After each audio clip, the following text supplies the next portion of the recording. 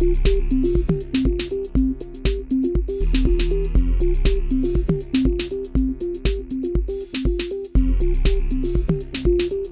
today I have the pleasure of introducing you and getting an extended conversation for myself with Victoria Lundy. Victoria is a really interesting person. She is the person that I know who is the most accomplished thereminist, which is uh, that's an accomplishment of itself because it seems like a really hard instrument to play.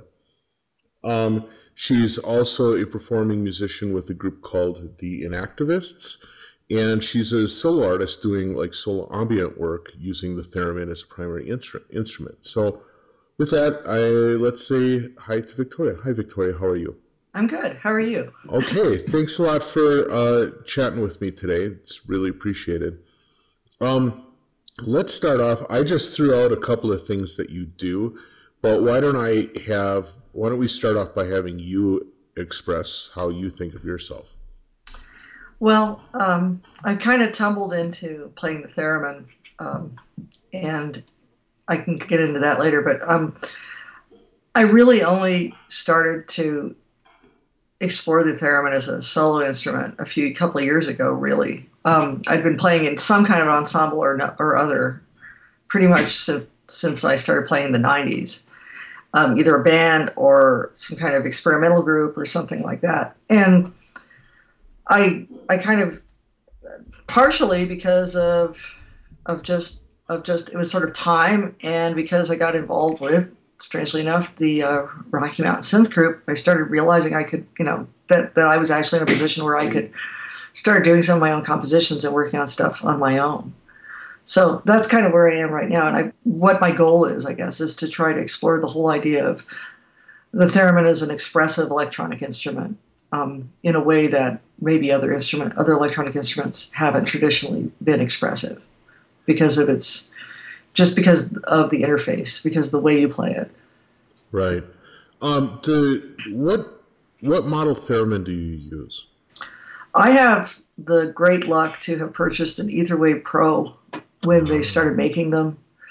Um, pretty much right after, actually, I bought it. At, I purchased it at the factory um, because I was at a theremin a theremin event in Asheville at Moog, and um, they were kind of the head of they they they gave us a deal, and um, yeah, it was really a, I don't think I I don't know that I would have I probably would have tried to buy one, but that was really amazing. It was an amazing coincidence that I that and then they did they only made I don't know how many they made, but they didn't they didn't they weren't in production for very long. Right. And then they they stopped making them. I think I have number three hundred. Oh, that's amazing! That's astounding. What a great opportunity. yeah so um, that was my that was my great luck um, I, and that is my gigging instrument I, I still have my original black big briar theremin that i bought in the 90s from uh, the bob Moog, bob moog's company then which was big briar Right.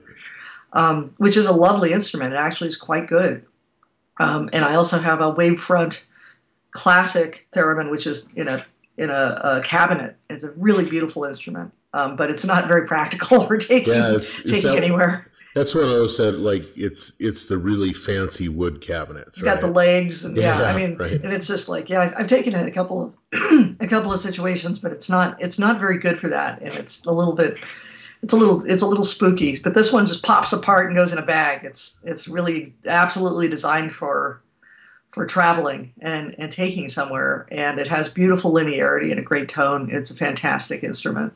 Interesting.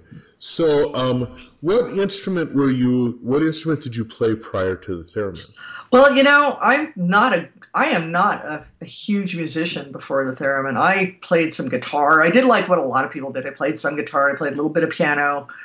Um, I was not a really seriously trained musician, um, and I just sort of fell into the theremin. Um, I had a lot of. I have a very musical background when it comes to my family. My mother was a singer, and she was a classical a classical you know opera trained singer. So I was around a lot of music from the Okay, beginning, and I have sure. a lot of familiarity with it. And I, you know, I took piano lessons when I was a kid, and etc. But I'd never really found anything or fell into the performance aspect in my life until I found the theremin. I'm really I'm trained as a visual artist. I mean, that's kind of where I came from. Interesting. And the reason that I um, even really found out about the theremin as an instrument, other than this just this peculiar thing I'd heard, which I, I was really fond of, but didn't know how it was played, was because I was working as a volunteer at the Bug Theater back in the 90s, and uh, Jeff Cleveland, who's a tremendous jazz musician in town, came through with the emergency broadcast players, and he had a theremin. And he played that in the emergency broadcast players. I'd never seen one. I had no idea what the interface was. I'd always kind of imagined it was some kind of keyboard. And I was hooked. I just had to have one. that's interesting. That's that's cool.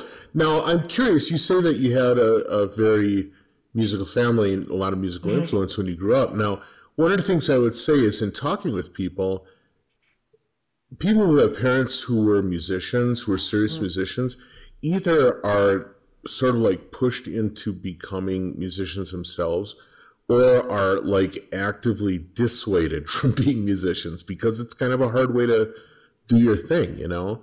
I was probably I was probably in the second category a little bit. I mean, it was sort of like it wasn't exactly I wasn't exactly dissuaded, but I was like it's pretty intimidated maybe. Right. Sure. Yeah. Yeah, I think I think we all were a bit. I mean, all of a lot of us are dabblers. I don't think any of us are were were real you know, my brother had played in a band. Uh-huh. My brother played occasionally and got into music, and he was actually a DJ for a while. And but you know, I wasn't really performing. I never really performed except for like once when I was in my twenties until like the nineties, um, and that was with the theremin, and that was just in a really you know strange, forgiving situation. I ended up playing with uh, an experimental group and you know, I was the kid with the bat. I had a therapist. I mean, that was really what it was. I mean, that's how I got started. So you saw Jeff Cleveland uh, playing playing the theremin, and you were like, "That." Did you say that looks like a fun instrument to play, or did you say that sounds like an instrument I would like well, to play? Or it, it was kind of a little both. It was it was partially what it was was that I had I was a fan of the theremin before uh-huh. I ever saw one, and okay. from just from just the uh, the point of view of like somebody who was really into like B movies from the fifties. Oh, sure, kind of okay, yeah, completely. So I knew what it was. I knew what it sounded like, but I had no idea how it was played. Uh. So it was a whole like it opened a complete. I had no idea that's how you played a theremin. I had never actually seen somebody play one. Right anywhere. I don't know how I managed not to do that, but I, I had never actually seen one played until then, and it was a real revelation that there there was this really freaky interface to make these sounds. I'd always kind of, I think I kind of in my head pictured something like a Ondes Martenot or a, a Novachord or something. Right, you know? something that would have some, uh, that would be like a regular instrument, but with some, right, right. some tool to facilitate the slidiness. Right, right, right, exactly. So, so that was just fascinating. I thought, well, I've got to, I've got to try this. This seems like something that I could do because I, I always, I always had pretty good pitch. Uh-huh. So I felt like that was maybe something that would help. And, and like a lot of instruments, and I, I have, I happen to think I'm kind of a slow learner, but you spend a lot of time really being really bad on the theremin before oh, you sure. can really get a grip on it, sort of like right. playing the violin or something. Right. It's just that's, really yeah. That's when you said that. It was the immediate thing that came to mind. Violin sounds horrible right up until the moment it starts sounding good. Exactly. Yeah, it's a lot like that. I mean, you can kind of there's there's a lot of theremins on eBay.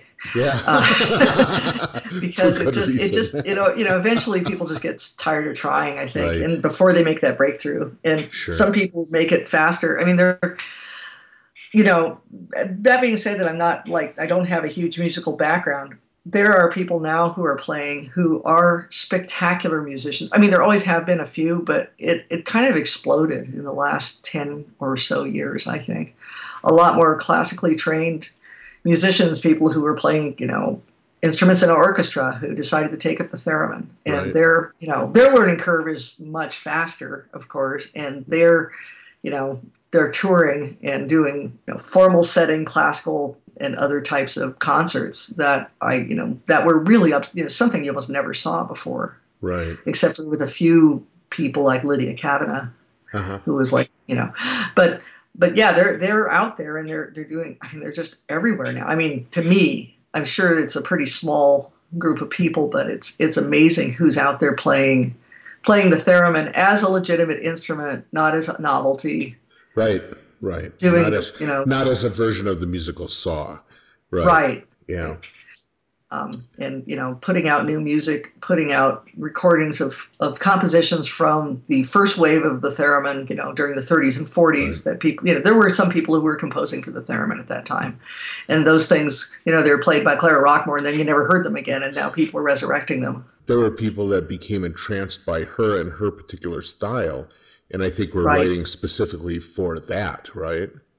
Right, I think so, yeah. and you know, some of them were just writing for this you know, oh, this weird electronic instrument, I think.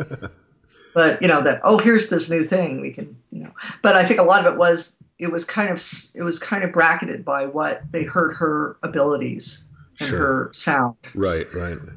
I think that might have influenced them. Right. So when you decided to, or when you started doing this, you, how did you get from a person who bought a theremin because it was because you saw one played and you loved the sound from B movies into being part of an experiment, being the thereminist for an experimental band. That seems like a pretty up. big leap. Yeah, did you really? It's like, well, I mean, was it like friends and they were like, oh, you play something weird, come on and play? Well, I, you know, it, you know, it showing up is 90% everything, I think. Right, um, I, I, I really was kind of like that. I was, at the time, I was uh, like I said, a pretty involved volunteer at the Bug Theater, and it was just completely. I mean, it was a much more out there experimental place than it is now. Um, it was we were it was really, you know, performance art, really out there, and there was a group that had formed. Um, that was kind of a loose association called the Carbon Dioxide Orchestra that always featured somebody playing a big piece of metal with a big piece of dry ice right. and you know putting it through effects and it was just really whack, and it was it was actually almost a tradition at right. that point. But um, I was just kind of getting slightly comfortable in the instrument, and was like, "Oh, you should you should play a session with us." I mean, that was yeah, that was kind of how that happened. It, it really was sort of the kid with the bat thing, you know. Wow. There just wasn't a lot out there, and I was really determined to uh, to to try really hard and and play it. And it was a very it was sort of a, almost like a conduction group where mm-hmm. there was very little. It's mostly express, you know, listening and and in the moment type composition, right? Um, based on whatever was happening. So it was great ear training. Sure, incredible no ear training. Right. And challenging, but not not scary in a way because you know it was just so freeform that I could just kind of get comfortable, and I got oh, I got sure. comfortable pretty fast. Yeah, it was kind of wide open, so that gave you a lot of space. Right. Huh? Mm-hmm. Yeah, exactly. That makes a lot of sense. So now, when you started doing it, again, especially so. So when was it that you started being kind of serious about playing? What what kind of time frame? Yeah, I fooled around a little bit. I was while I was doing that, I was trying to get control of the instrument as mm-hmm. an instrument. Right. Um, and so I just started. You know, I, I went through the there is a there was at the time a very small book on how to play. It's written, I think, by I think it might have been written by Clara Rockmore. There were a couple of videos on how to play that I think Lydia Kavina had made for for Moog. So I went about just training myself uh-huh. um, and started getting some control over it and playing, um, trying to play linearly. Right. Um, and you know, mostly there wasn't really the, the internet, thank God. I mean, the internet has made it so much easier. There was nobody teaching. There was nobody showing you how to do this, so you had to kind of work it out on your own. And um, I started to get a grip on how to control it. It took me a while because I, I was kind of a slow learner. Um, but within, you know, I, I think I started playing like '96. Okay. And within a couple of years, I'd gotten so I could at least I could at least sketch a tune. You know, um, I wasn't as you know, wasn't great, but I could do it. So, and I got, I got, you know, I just kept working on it. I mean, I don't really have a, a solution for how I did it. I just sort of right. worked at it. So, like, who who would have been influences? Because at that time, there wouldn't, other than like these classes, classicalists. Mm-hmm. Yeah. There didn't seem to be a lot of people using it as a as an adventurous instrument, right? And Right. so, did you did you find yourself taking influences from other musicians, or was it f- in taking influences from the people you played with and just finding a way to fit in? How did you how did you like mold your your sound or your voice on the instrument? Well, there's a couple of things. One of it was somebody who was pretty influential early on because she, she was, you know, besides Lydia Kavina, who was sort of the classical thereminist at the time, you know, and she still is. Um, she's the, I think, grandniece of theremin. He taught her how to play. Oh, she's okay, kind right, of, right. she's kind of. Um, there was Pamelia Kurstin, who I know she's been remarried, and I know she has a new surname, but I can't remember what it is right now.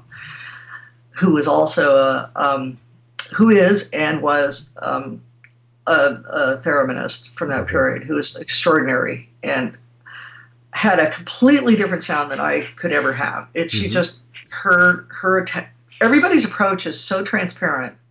You can you can hear them like in a couple of notes you can almost tell who's playing Oh, sure. I almost like a guitarist or something because it's just such a transparent interface so she has this delicate touch i've never had Uh-huh. um, and you know Pam, and, and so there were a couple of people who were actual thereminists at the time who i was trying to emulate but i really took my cue from vocal music oh, uh, sure. classical vocal music. Um, and there's, a, you know, my mother was a singer. Right. Um, I had heard a, a spinto soprano who sang a lot of Puccini for most of my life, and I Mhm. had learned learned those scores, and that was where I went. I went to that, and that's what I tried to learn. That's where I, you know, those were the things that I used as my benchmarks. Wow. Well, that's that's pretty. That's pretty serious. That's that's that's Well, and- jumping into the deep water a little bit. It really was, but I, I kind of felt I understood that music in this kind of visceral way that I think Sure. that I that that you you know that you do when you're exposed to it all Right. the time. Right. yeah, Um, that makes sense. and I knew it. So, what are what are the things that you hear then that you hear yourself doing that you don't hear other thereminists doing in their work? You know, because I would say it's it's interesting you said that because um, I got a chance to see you when you performed at the Boulder Dairy Center for the Arts, hmm and it was extraordinary. First of all, but also the the tone and you know I had for some reason when I uh, when I went back to school, um, I kind of found myself getting a little bit pummeled with Clara Rockmore stuff. Right? Uh huh. It was kind of interesting. There was like this guy who was teaching who was really into it, into the theremin, and particularly into her uh, work on the theremin. And so I got a lot of it. Got to hear a lot of it, and I always found it to be like very like hyper romantic and very violin-y, right? Yes. And in Which makes some sense because that was her instrument. Oh, she was okay. a violinist Oh, I before didn't she know was that. Oh, okay. Yeah. Well, that would make sense. But Yeah. when you said that you got your influence from vocal music, that immediately clicked because your stuff you're playing doesn't remind me of a violin. It reminds me of a singer. And Oh, so it's very interesting that that was your influence. Now, what what do you think are the details that make that come out? Um, I think the thing is that see the theremin is this interesting thing in that it doesn't well you know it has a lot of things that are like well that are like vocal music and are not like vocal music. But part of it is I think that the thing that is is unique about the theremin, or at least kind of like makes it more of an electronic instrument, is that you could play a note for 30 minutes without taking a breath if you wanted right, to right. Just holding your hands in position and just standing there. You could Mhm. drone for the rest of your life. But I, I've always thought of the phrasing of of music, especially if, if, for instance, I am trying to play an aria, which I do a lot um, on my own, especially. It's all about breath. Right. I, I think of phrasing as breaths. And I think the one thing that I, I do if I bring anything unique to it is that I tend to phrase like a singer. Interesting. Um, and I tend to use the idea of breaths Sure. in my phrasing. I not always. I sometimes I consciously don't do that when I'm doing certain things, um, but I, I think I think about it that way. Sure. Do you find yourself like singing along with yourself as you play, or you, you have to really sub vocalize the play? yeah, right. Okay. you kind of do. I mean, yeah. I, I, hear people who can actually do this. I think Peter Pringle's one of them, or a couple of people I've heard do this, who can actually sing and play the theremin at the same time. I do not know how they do that. Oh, that seems. I, hard, I have yeah. never really been able to do that. I can do a little bit, like I can hold a note and I can sing a phrase over it, but uh-huh. I can't do what I've heard people because I am sub vocalizing those damn notes right to myself all the time. Sure, interesting. Yeah. So, um, the, let's talk a little bit about the instrument itself because you meant you mentioned something before about um, one of the instruments that you have having like a peculiarly good linearity and stuff like that. For people who aren't familiar with the theremin, um, there's like an antenna to one side and a vertical antenna and I mean this is going to sound ridiculous because I'm, I'm gonna it's going to sound like I'm making a joke but you play it by waving your arms around which is sort of a yeah that's right but it's I think it's at the heart of why it ends up really quickly either be, being like disappointing or incredibly personal because the way that you move is going to have a direct correlation with the instrument now yeah. or with the sound that you make. Now, my mm-hmm. question is what are some of the differences between instruments and what would make an instrument preferable, one instrument preferable over another to you? Well, the most there are a couple of things that are just paramount. And one of them is just kind of its inherent tone, which I know you can manipulate with effects and you know things you put in the in the chain after the tone that comes out of the actual instrument. Right. But um, like I say, my gating theremin is my favorite theremin for a couple of reasons. There's, it's got a beautiful kind of basic tone, and you can manipulate that by adding more of a saw wave or less of one, or more of a just a sine wave style. You know, it has a couple of presets. Okay. To give it a more rough or a less, you know, a smoother kind of sound, or more of a flute sound, more of a a rougher or a rougher sound. Sure. So I think the inherent tone is is important. Um, the cabinet theremin I have has a beautiful inherent tone that's very much like a cello. Um, sure. It's really, you know, it kind of it's sort of funny that it looks like a it looks like a grand piano in terms of a theremin, and it, and it sort of sounds like, like, one. You know, it sounds like this. Right. Uh, it has a beautiful, beautiful inherent tone. But the thing that is, to me, the most important thing, because you can kind of manipulate that with um, post effects, right. is linearity. And that is the scale between the lowest note and the highest note on the on the theremin, which is going to be controlled by your right hand antenna, the, the upright antenna, okay. um, is sort of a logarithmic relationship. As you get closer to that antenna, the the notes are going to get closer together. As they get higher, they're going to get closer together. As they're lower, they're going to get a little farther apart. So it's almost a logarithmic kind of thing. And the best theremins smooth that out and make the the linearity is better. It's more of a you know like just a straight scale. It is never an exactly straight scale. It's always going to be smaller. The higher notes are going to be a little smaller, right? Up farther, closer together, and the lower. But the better the linearity, the more playable the instrument's going to be. Well, that would make sense because you just get used to jumps in distance representing mm-hmm. notes, and if that's constantly changing, that has to be a little disconcerting. Right. And even if you know, and there's going to also be a limit to your high notes if uh-huh. they're too close together, right, too far right. apart. You're gonna have harder times doing. I mean, there's going to be some physical physical limitations, right, at some point. With so, I find that the linearity is is something to and it takes a little while to kind of get get a feel for that linearity but i've gotten so i can like walk up to an instrument and kind of tune it up and kind of get a feel for where those octaves are right. very quickly and kind of see if it's going to be a, how playable it is but that's that's i think that's the most important thing interesting now does does uh your environment have much to do with how the instrument responds I, and i ask this because I mean, first of all we are up in the Rockies, and so we have this really dry, arid, uh, but constantly changing uh, weather weather environment, right? And I mm-hmm. know for uh, like in synth world, the playability of certain kinds of touch based uh, instrument interfaces become really difficult in really dry weather.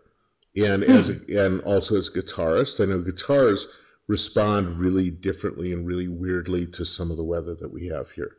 What do you ever see that? I mean, because it's a no touch device, but also because it's really weird electronics. I'm wondering mm-hmm. if it has, if there's any, if the this kind of environment has any effect on it. Part of it, I have to say, there are so many other things that are affecting you before you even get to that point. okay. That you kind of, I don't even. That's almost becomes negligible. I um, see. It's sort of okay. You have to realize a lot of the. I have played the theremin in crowded bars full of drunk people. Right. Okay, so um, what you're constantly doing. Oh it's that's huge. Um, you're constantly trying to figure out how you can isolate yourself physically right. from the rest of the room or from anything that's moving first of all. I mean it's kind of the lowest level of defense is trying to keep especially your pitch antenna because the pitch antenna is affected by not just you it just it's affected by whatever's closest to the pitch antenna. And how far how far does that how far does that reach out? It can reach out depending on how you have it tuned, it can reach out for like six feet. Oh my um, goodness! Um, it really, yeah, it can be really, really devastating. And uh, I tune them pretty tightly, you know, and there's a limit to how how much you can do. And I've been on a tiny stage and tuned my theremin very tightly, and been, yeah, it's been a little little dicey, but um, you know, the the the real you're you're getting affected by that. You're getting affected by stationary objects too, because you have to kind of t- like you know you have a big amp to your left or to right. your right. You're going to have to tune to that, right. and it's not going to move. So once you've got that set up, you're okay. And then um, you know you don't you want to be to the for me I want to be to the right of everybody on the stage because I want my pitch antenna as far away from swinging headstocks and drummers and stuff drummers, as possible. Yeah right. Yeah. So you know because that all having a guy back into you is going to just totally destroy what you're playing. So I, hadn't, I, hadn't, even really thought about that but yeah, yeah. All of a sudden the 300 pound drunken lout representing the uh, most musical thing near the stage is a little scary. Yeah a bit.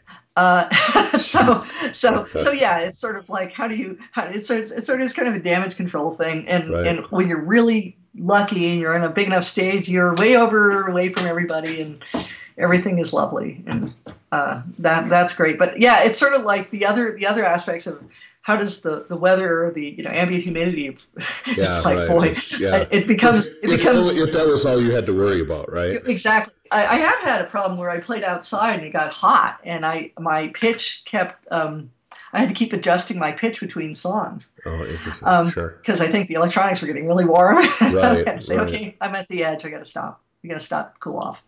Sure. So um, let's let's talk then a little bit about playing in a band because that's that actually sounds. I, I hadn't even really thought about how difficult that must be. But also, where do you find the theremin slotting into kind of a band environment? Is it like I mean, what would be an analog instrument wise? I mean, is it like being the saxophonist or the harmonica player where, you know, everyone plays and then they look at you and it's like solo time? Or is there a way for you to play like backing, uh, you know, use? I don't, I don't understand how it would fit in a band because I think well, of it primarily as a soloing instrument. Right. And one of the things that I've been doing since the beginning, and I've actually made a point of, is I really want to play as an ensemble instrument.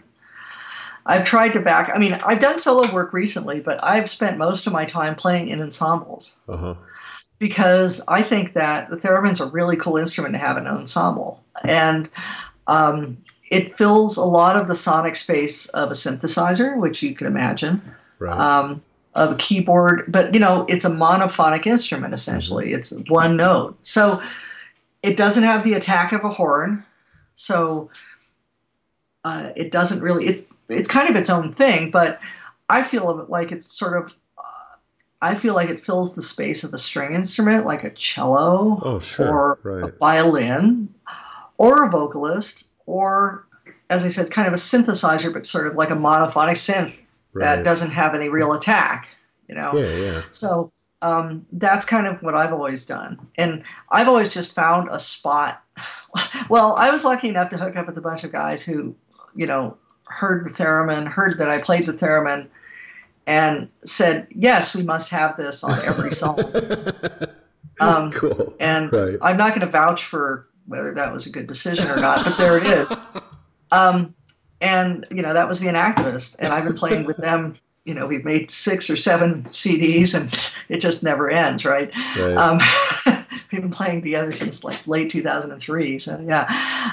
But yeah, I mean, there are solo moments, but a lot of it is just sort of these sweeps and whooshes that you would hear, or these melody lines that you would hear a synth play. Right. Sure. Okay, that makes sense. And I've always liked the idea of it as an ensemble instrument because I think it does it does kind of like, oh look, we're going to try out the theremin. Wasn't that right. interesting? Okay, now we're done. Yeah. Well, it's you know, I, I was hoping that you were you uh-huh. know you, we could talk about it that way because. You know, I always think of like harmonica players. Very few harmonica mm-hmm. players know how to vamp or know how to sit in an ensemble setting. Most times they're yeah, they're soloing 100% of the time, mm-hmm. which is kind of a tough sled. And I was wondering if that was sort of the expectation of what a thereminist would bring to the thereminist would bring to the table. And it's good to hear that you're finding a different place for it. That's neat. I, I've always done that. I've always, and you know, every time I, I always try to, I love to play an ensemble. I like to play as a, I, sometimes I play as a drone instrument. Sometimes mm-hmm. I play as a, you know, I play a melodic line, but I kind of think of it as the spot that maybe a background singer would, a backup singer would, right. would have, or sure. maybe a, a, keyboard player, or maybe a, a violinist or a, a cellist or something. Right. Yeah, that's cool. Now, um, speaking of ensembles, one of the things you've been doing recently is working with one of these conduction ensembles, right? Yep. Yeah, the uh, Flux conduction Flux crew con- uh, conduction ensemble. Yeah, how how is that? That's that seems like hard work to me. It is hard work. There are some electronic, like guitar, electronic, electric guitars, uh, keyboard, and me. I think that's all the electronic instruments, and then the rest of it is uh, the rest of the ensemble is classical or acoustic instruments. Mm-hmm. Uh, double bass, cello, um, stringed instrument from Vietnam, which I can't remember the name of right now, and um, uh, some some woodwind, lots of woodwinds, some different different um, some different you know some horns. So so it's in a drummer. So it's a it's a pretty eclectic group, um, and I've worked really hard to find different sounds to kind of get past the limitations of the theremin right. and come up with different kinds of of sounds I can do on command based on the conductor.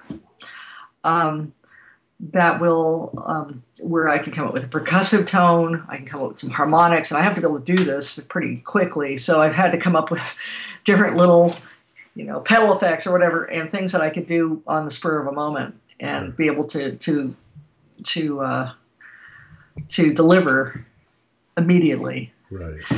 And that's been a real challenge. It's been hard work, but I think we are going to finally play in, in public. So oh, cool. it's going to be interesting. Who's who's leading this group? Um, oh yeah, uh, Dino Deane. Uh, oh. He's he uh, he's leading the group, and he's using Butch Morris's method of conduction. Right. He worked with Butch for years, mm-hmm. and um, he's actually teaching a workshop. Um, on on sound conduction at uh, the King Center at the Immediate Music Festival during the day uh, of the it's the 29th of April during the day, um, and then at night we're going to have a concert uh, using conduction the conduction group. So it's our it's our, it's not quite our public debut. We've had a few people listen in, but we haven't actually played in this setting before. So nice. It's gonna be interesting. well, good luck. That sounds that sounds like an incredible. It is challenging. It is like by by the time you leave a, a session, you're just wiped out. Oh yeah, it's very, very, you concentrate so hard for so long. Well, everyone I've talked to that's been involved in conduction uh, groups talks about like the level of commitment it takes to really to really succeed because you end up having to spend a lot of time developing techniques that you can pull up at the drop of a hat. right? Exactly. And so as a result, you really need to be on top of your game, and the, the level of concentration is extraordinary. I think, yeah, that's exactly right. It took me a few tries to get a, a suite of, of, of effects and etc. that would work in this setting. Right. And it's sort of funny because I went back to my most basic analog stuff um, instead of doing anything. It's very, you know, I'm using um, an old digital effects processor and some Moog Fogers for my post effects. I mean, you right. know, so it's yeah. like really and not doing anything with anything. It just it's all just you know kick it on. You're there. You're you know got your effect, sure. um, and it's really straightforward. So now, have, have, you ever experimented with uh, the Theremin driving MIDI devices at all? Yeah, I have. Um, I've actually used it to drive um, some uh, MIDI uh, effects on Ableton, and I've mm-hmm. also used it to, um, strangely enough, to drive. To, I use control voltage because I have control voltage out in uh, pitch and volume. Okay. On this on the on my gigging theremin. Right. To drive um, to drive uh, effects on a Slim Phatty which is oh, really interesting. interesting. Oh, wow. Yeah, a really nice. I mean, you can get some fantastic sounds out of that, and it really opens up the palette. Yeah, I was going to say that's a very that's a much broader range of tools than you're going to have as the direct output of the theremin. Yeah, it's you know again with the vocal music, it's a, it's one note, it's a monophonic instrument, and it's right. heart. And I've also done some things with digital effects where I've used it to drive. Um, Native Instruments Reaktor, uh-huh. which has been a really, a really cool um, opening up of, of things for doing sort of a um, a solo set or something where I'm doing sort of an ambient set and kind of adding all these colors that are happening kind of spontaneously, being driven by the sound of the theremin. Right. Now, recently, recently you put out a solo album uh, it's called Miss American Vampire, I think, right? Yes, Miss American Vampire. Yes. Yeah. Um, what what was that like? How did you how did you build a solo album? Did you use a lot of other instrumentation, or was it just using the the theremin, or was it, or did you have other artists working with you? What what was the process of making that? It was difficult. I, I haven't really done that before, so I think I made a lot of elementary mistakes. But um, what I what I think I did, well, I guess what I would say is I, I went ahead and kind of stuck to the whole digital realm and did things using. Like I said I mostly used Ableton to build stuff, using MIDI devices um, for as sort of you know for for the things that I didn't think the theremin would do. Right. Like you know percussive things. And but then I got a little deeper into that and started sampling theremin mm-hmm. and made instruments out of them. Right. Um, so I kind of I kind of cheated in terms of the theremin. I tried to bring the theremin in to do things that it didn't typically do.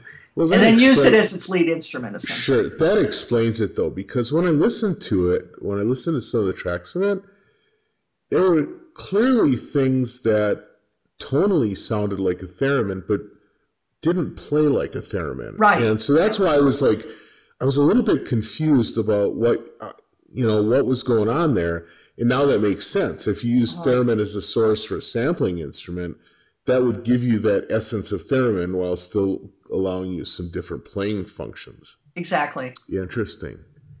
And I want to go back and do more of that because I thought it was that was the most successful thing I felt. Sure. Well, it was a. I thought it was a really successful uh, piece of work. I really enjoyed the sound of it. And again, it was, it, to me, it very much had a unique voice, which I think is cool because I think that the theremin is an instrument because of how you play it. It sort of forces you to develop your own voice anyway. I think but, absolutely. But yeah. somehow in that thing, you encapsulated you encapsulated your voice in the release, and I thought it was really successful. Thank you. I appreciate that. Sure. I want to do more. I, I, I have to decide. I have to decide which way to go. I'm I've been thinking about that really hard for a couple of months about right. what what to do next, and I did. I think that was one of our. I think just finding the idea of, of taking the theremin and making it into other things was pretty successful, but I always like the, the, the pure voice of it Right. in in the mix. Sure, certainly. Um, so before we go, one of the things I want to do is uh, is maybe help those people that uh, buy a theremin and are already thinking about putting it on eBay. in in that, I would I'm wondering how what you think would be ways that people could um, kind of rapidly approach the instrument that has a high level likelihood of success. I think, well, and this was my approach. That's I'm very biased. I thought thinking of it as a vocal instrument worked really well in trying to learn it. Um, and that's just because it's the way you play it is kind of inherently like singing, in that you don't have it, it's monophonic and you're doing it by just moving, but it's not, it, it doesn't have any kind of fretboard or anything. There's no, there's no uh, point of reference for you. So I think the first thing I would do if I was going to start from scratch was I would first learn as carefully as I could, given the documentation you give the thing, how to tune it and where to sit. And I would sit down. That's the first thing I would do because that helps you. It really helps. It's ridiculous how much it helps. And I would concentrate. It, it's a very Zen experience. I would concentrate on on being still and learning how to go from stillness to movement with the theremin in terms of thinking about that that antenna as your the, the, the, distance between your shoulder and that that that antenna as your pitch. That's extremely important. But the thing that I think that people neglect when they're playing the theremin and when they're learning is the left hand, which is your volume. Right. That the that's your articulation, and it's the most. It's very important.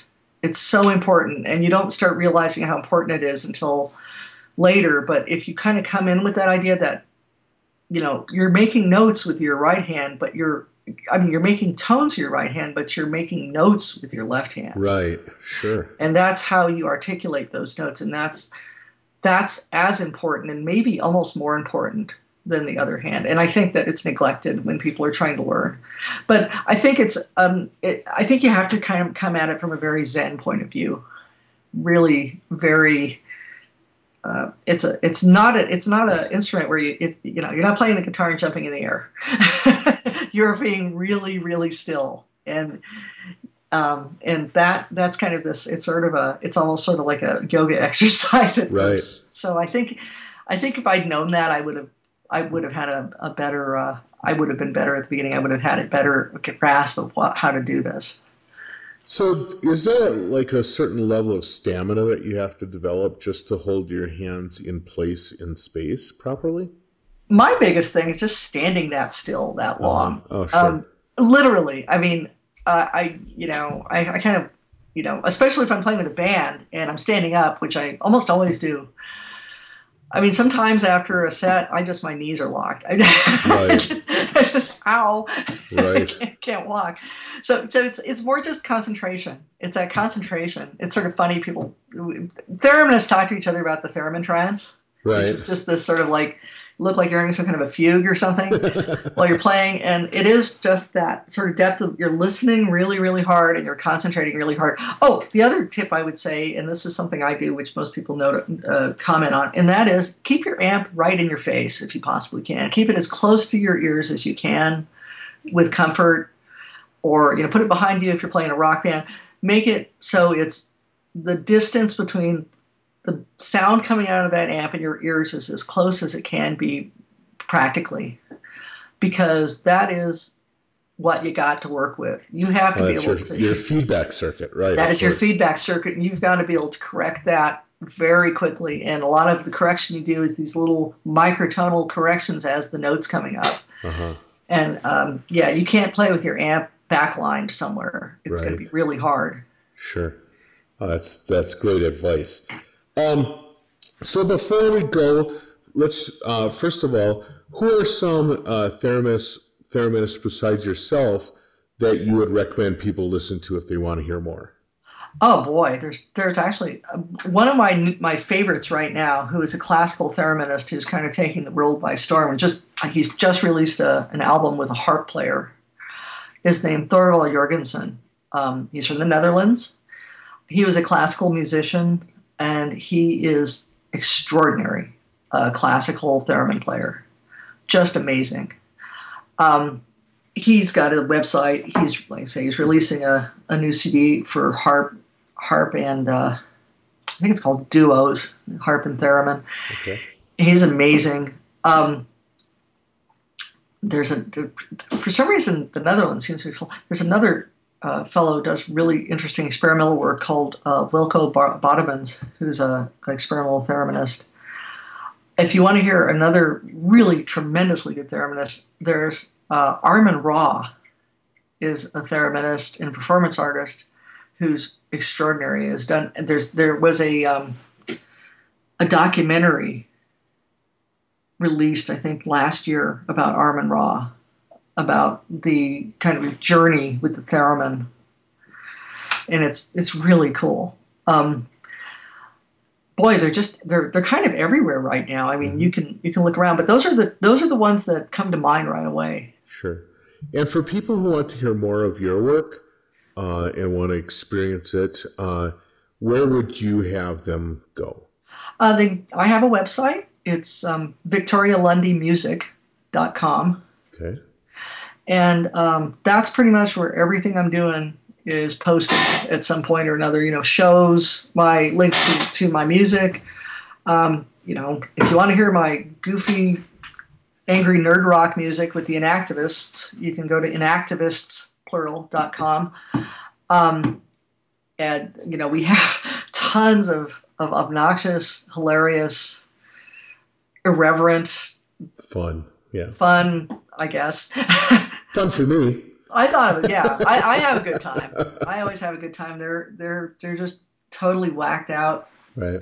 Our our lead our lead singer and primary composer is a, a crazy genius, and you know they all are. They're tremendous musicians. So, I I really enjoy playing with them. Cool. So yeah, that's that's pretty much it. All right. Well, Victoria, thank you again for your time and and for uh, chatting with us and kind of filling us in on on some of the details about theremin. I think it was really informative and uh, interesting for me since I, I mean, my one every time I step in front of one, I just embarrass myself. So it's really, first of all, good to talk to somebody who's really skilled with it, and secondly, to hear that, uh, you know, to hear about some of the details that would have passed me by. So thank you so much for that. You're welcome. Thank you. All right. Well, and with that, I'll bid you a good day. Bye now.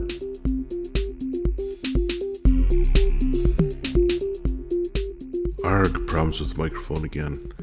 Yeah, this thing has got to go. In any case, uh, I want to thank Victoria for another great interview. Um, it was really great to learn a lot of things about theremin, things I hadn't even really considered about using it as a, as an interface and as an instrument. I want to also thank you for tuning in again, listening, for sharing this with your friends. It's been a fantastic uh, ride for me so far, and I expect to take it a long ways into the future. So, with that, I'll leave you alone for the rest of the week. I'll catch you next weekend. Bye.